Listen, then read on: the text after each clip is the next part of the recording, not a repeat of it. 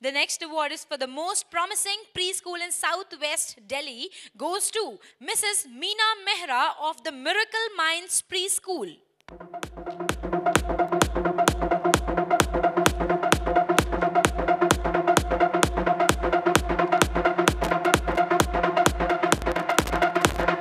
वैसे हमने हमने आगाज़ इतना जोरों शोरों से किया था, हम अंजाम की तरफ़ पहुँचते जा रहे हैं, कुछ ही वक्त बाकी है, तब तक आपकी एनर्जी इतनी ढीली पड़ जाएगी तो कैसे चलेगा? कम ऑन एवरीबॉडी इतने हम नहीं थके हैं अभी। We have a lot of energies in store right या